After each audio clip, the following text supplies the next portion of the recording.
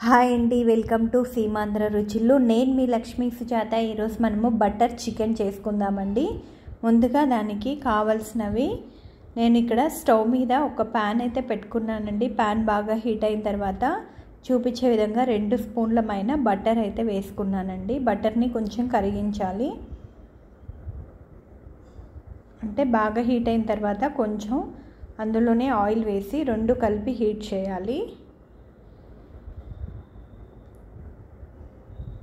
చూసారు కదా ఈ విధంగా బాగా హీట్ అయిన తర్వాత ఇక్కడ నేను ఫస్ట్ కాజు కొంచెము ఒక పచ్చిమిర్చి అలాగే కొద్దిగా కరివేపాకు రెండు ఎండుమిర్చీలు తీసుకున్నానండి. ఇవి కొంచెం వేపుకోవాలి వేపుకొని వీటిని పక్కన పెట్టుకునే విధంగా మనం దూరగా ఈ కాజు వేగే విధంగా వేయించేసుకొని వీటిని పక్కన పెట్టేసుకోవాలి. ఎందుకంటే వెంటనే కర్రీలో కర్రీ దీంట్లోనే ఉడికించినట్లయితే కాజు అనేది మెత్తగా అయిపోతుంది. బటర్ చికెన్లో కాజు మెత్తగా అవ్వకూడదు కరకర అంటూ ఉండాలి. సో మనం ఇవి లాస్ట్లో యాడ్ చేసుకోవాల్సి ఉంటుంది పైన. అందుకోసమని ఇలా వేపేసుకొని పక్కన పెట్టేసుకుందామండి. రెడ్గా వేపుకోండి.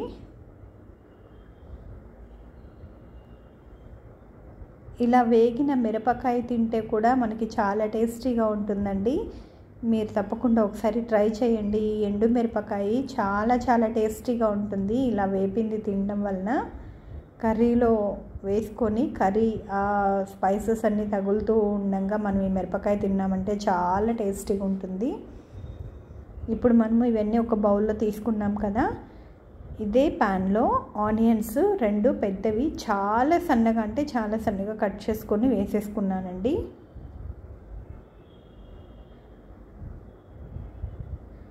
ఇవి వేగుతూ ఉన్నప్పుడు మనము అల్లం వెల్లుల్లి పేస్ట్ కూడా ఒకటిన్నర స్పూన్ అల్లం వెల్లుల్లి పేస్ట్ కూడా ఇక్కడ వేసుకొని వేపుకోవాలి.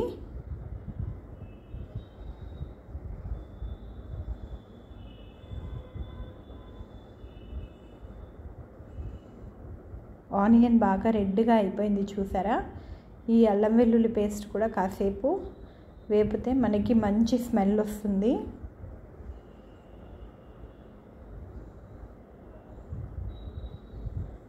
ఇప్పుడు ఈ చికెన్ అంతా కూడా నీట్గా రెండు మూడు సార్లు కడిగిన చికెన్ని ఇక్కడ యాడ్ చేసుకోవాలి.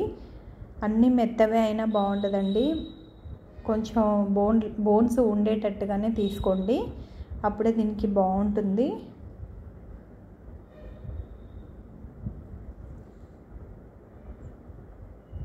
కాస్త పసుపు వేసుకోవాలి.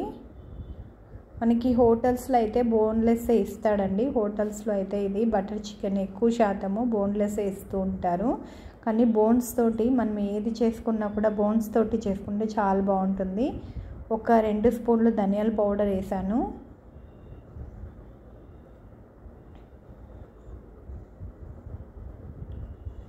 ఒక స్పూను గరం మసాలా అంటే చికెన్ గరం చికెన్ మసాలా ఉంటుంది కదా అది వేసానండి.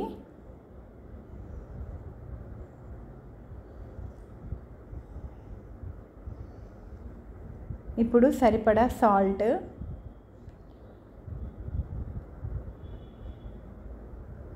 సాల్ట్ ఏదన్నా తక్కువ అనిపించినట్లయితే మళ్ళీ వేగిన తర్వాత మధ్యలో ఒకసారి సూప్ చెక్ చేసుకుంటే మనకు తెలిసిపోతుంది. అప్పుడు వేసేసుకోండి. ఇప్పుడు వీటిని బాగా కొద్దిసేపు ఒక రెండు మూడు నిమిషాలు వేపుకోవాలి ఇలా. ఇప్పుడు ఒక రెండు మూడు స్పూన్లు గడ్డ పెరుగండి. మీగడ పెరుగు ఉంటుంది కదా ఆ మీగడ పెరుగు వేసేసుకోండి.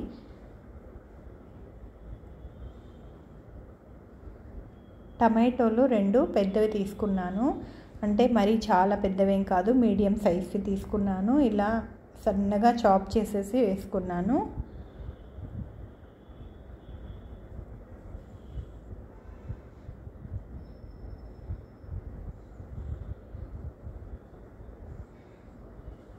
ఇలా బాగా ప్రతి ముక్కకి కూడా ఇదంతా పట్టి బాగా వేగేటట్టుగా మనం దీన్ని కలుపుకోవాలి. ఇప్పుడు కారం సరిపడా వేసుకోండి. నాకు ఇక్కడ దాదాపుగా ఒకటిన్నర స్పూన్ పట్టిందండి. ఎందుకంటే నేను ఇక్కడ టమాటో వేసాను పెరుగు కూడా యాడ్ చేశాను కదా. హాఫ్ కిలో చికెన్ అయినా కూడా నాకు ఒకటిన్నర స్పూన్ బాగానే పట్టింది.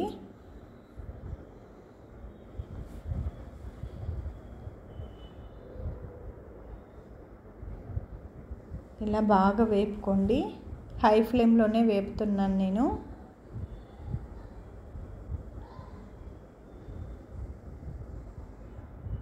ఇప్పుడు సిమ్లో పెట్టేసుకొని మూత పెట్టేసుకోవాలండి మనము.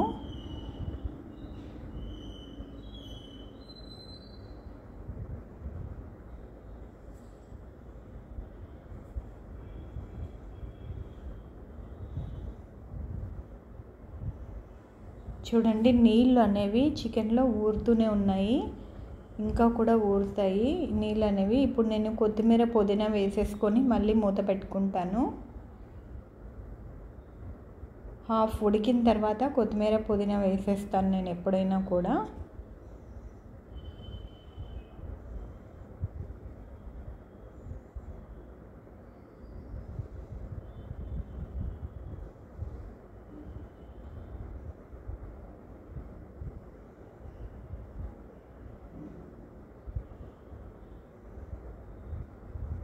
ఇప్పుడు దీన్ని ఇలాగే సిమ్లో పెట్టేసుకోండి. వాటర్ ఇందులో ఇంకా వస్తాయి. ఒకవేళ వాటర్ ఎక్కువ రాకపోతే మనకి ఎక్కువ కావాలి సూప్ ఎక్కువ కావాలి అనుకుంటే మనము ఎక్స్ట్రా యాడ్ చేసుకోవాలి.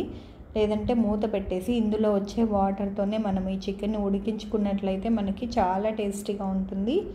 నేనేం వాటర్ వేయలేదండి. ఇందులో ఉన్న వాటరే నాకు సరిపోయింది.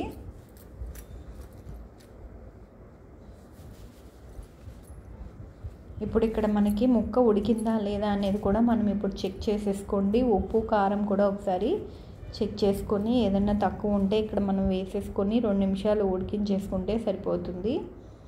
ముక్క అయితే ఉడికిపోయిందండి. ఇంతేనండి. ఎంతో టేస్టీగా ఉండే చికెన్ బటర్ చికెన్ అనేది రెడీ అయిపోయింది. నేను జీడిపప్పు అవి ఇక్కడ వేసేసుకుంటున్నాను. చూడండి. ఇంతేనండి. నచ్చితే లైక్ చేయండి షేర్ చేయండి కామెంట్ చేయండి సబ్స్క్రైబ్ చేయండి. ఇంతవరకు సబ్స్క్రైబ్ చేయని వాళ్ళు ఉంటే చేసుకోండి ఫ్రెండ్స్. లైక్ చేయడం మాత్రం మర్చిపోవద్దు. Thank you.